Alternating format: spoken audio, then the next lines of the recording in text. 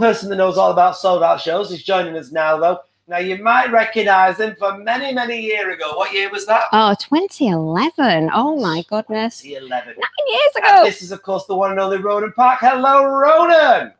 Hello, how are you both? God. There you are. Hey. Oh, I took a breath in then. I didn't think we could hear you, but we can. Where are you? You look very, um, very nice and chilled and relaxed. I am. I'm just at home, which is where I'm. I'm from. Um, Yes. So I'm chilling. I'm enjoying the sunshine.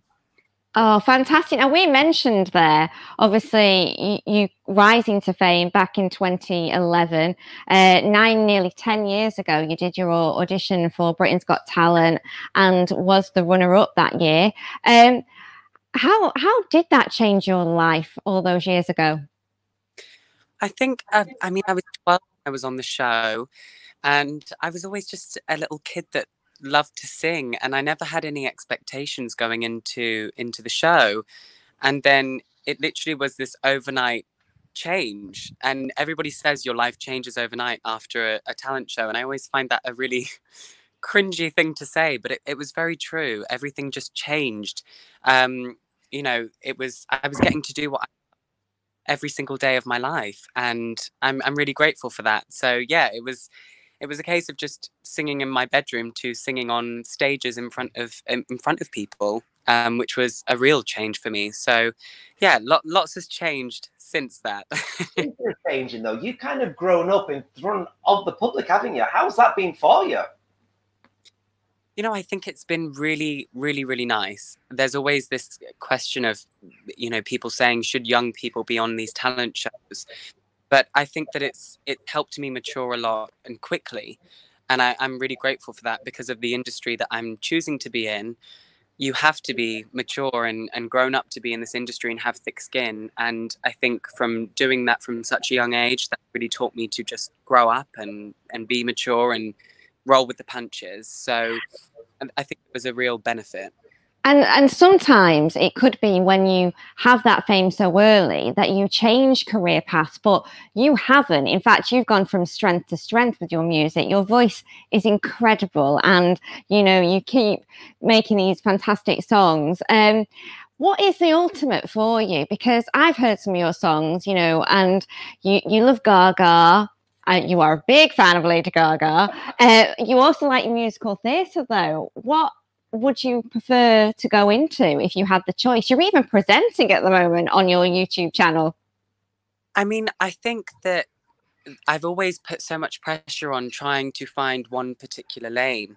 But I think when you're so passionate about um, music and performing, there's so many lanes that you can go go down. And I think I've just decided that it's like anything that's going to make me happy and that I'm going to enjoy, I'm going to do.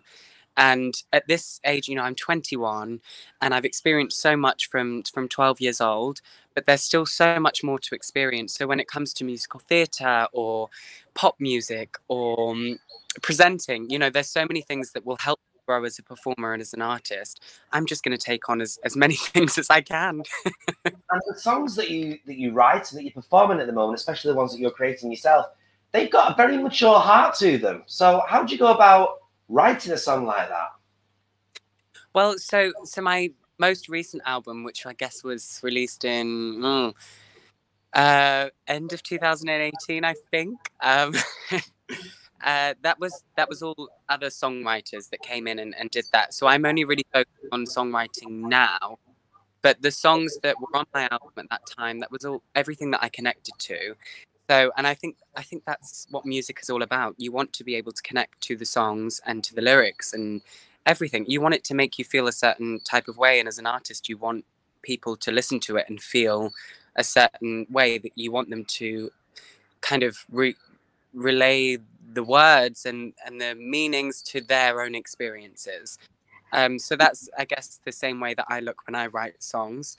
So that's really what what it's about for me. Is I always want it to make people feel a certain kind of way. I want them to, you know, experience their own feelings in the song. I want everybody to relate to it, and that was, you know, with with my most recent album, it was all a completely gender neutral album because I feel it's really important that people get to um, connect with it in their own way. I think a lot of the time people can, you know, add genders to songs, which is great. You know, some of the biggest songs have obviously got genders yeah. in there, but I think that it's really important that people just without without this kind of instant oh this is who it's about you want to you want people to feel their own kind of way about it Mm. I have to say, I've been thinking about kind of musicians and songwriters during lockdown and and how that might affect them and their work going forward. Have you felt that when you've been writing during lockdown? Um, it's been a very interesting time, as I'm sure it has been for so many performers.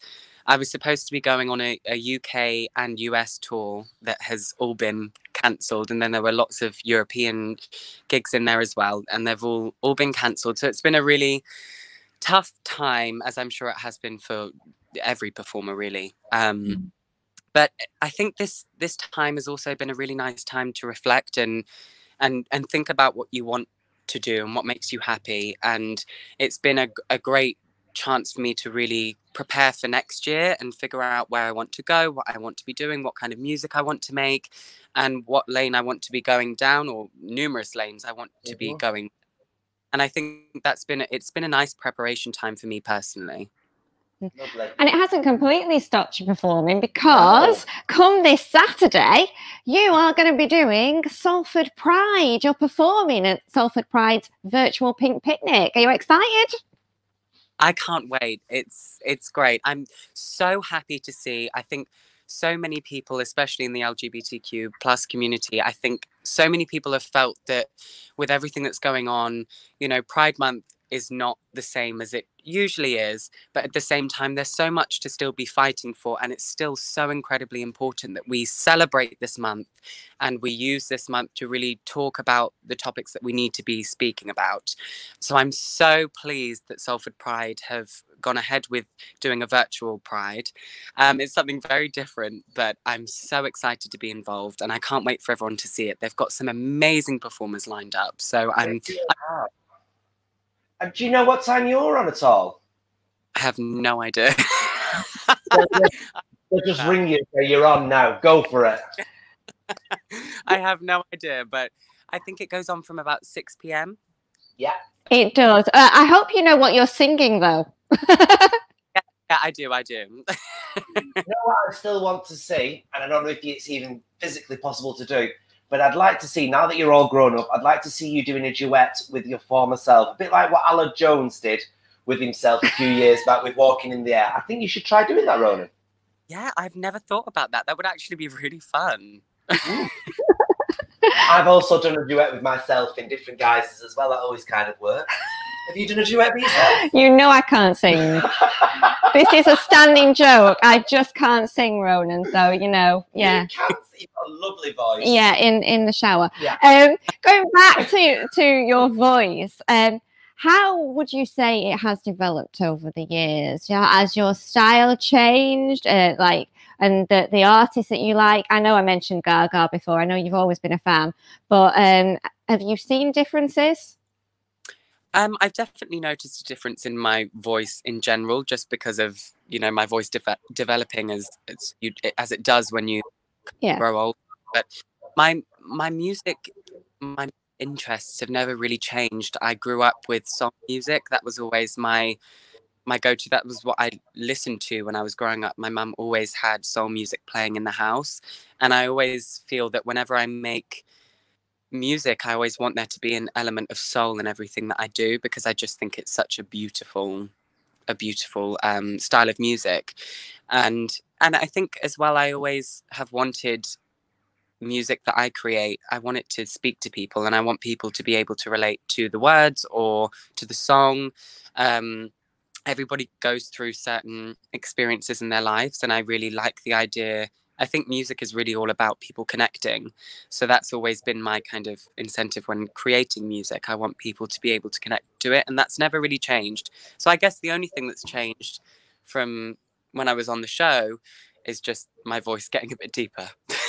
think, yeah, just how uh, well known around the world you are. I mean, as much as you're a homegrown talent to us, and obviously you've, you've hailed from the program Britain's Got Talent, you are loved around the world. And we've got some messages um, from various people. We've got one. Let's bring them on individually. Yeah, from there. Let's bring that in first of all, and uh, we've got somebody that says they loved the last album, Ronan. Oh, thank you so much. We had somebody just before that that said something as well. Where was that? No, no, no. From Axel. Axel said, "What did Axel say? Absolutely marvelous." And uh, Oh. So we've got so many comments. If we did all of them, we'd be at I know, but you have performed all over the world, Mm. haven't you? Uh, where has been your favourite place to actually perform live?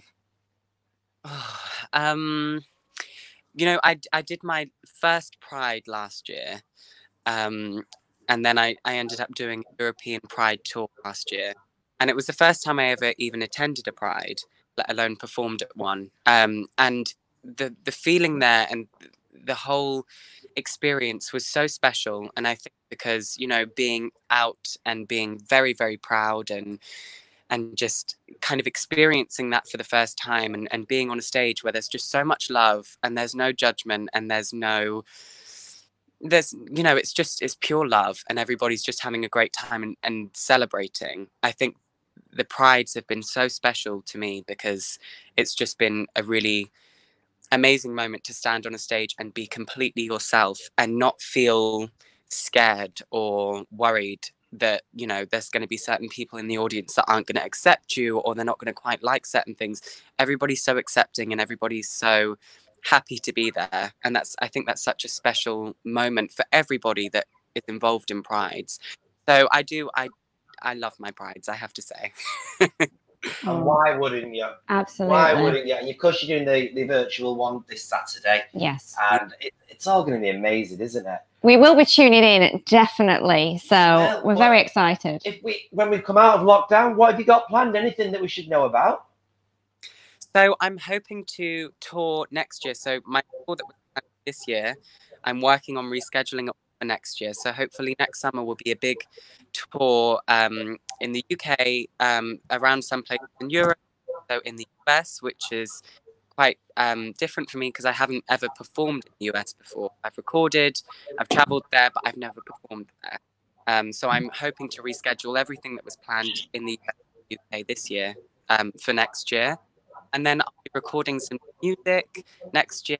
Uh, I'm planning to go out to the US to record some more music, so that will all be rescheduled for next year. So hopefully next year will be busy. Um, I'm also working with a new musical theatre agent, so hopefully you'll see me in some musical theatre productions. So I just Oh, Oh, we love our musical theatre. It's all very exciting. But before you go, I do have to ask you that today it was announced that Britain's Got Talent final isn't going to have an audience this year for the first time because, of course, of the effects of COVID. well, that's going to What- be Yeah, it? what what would that have been like for you if you hadn't had an audience back then?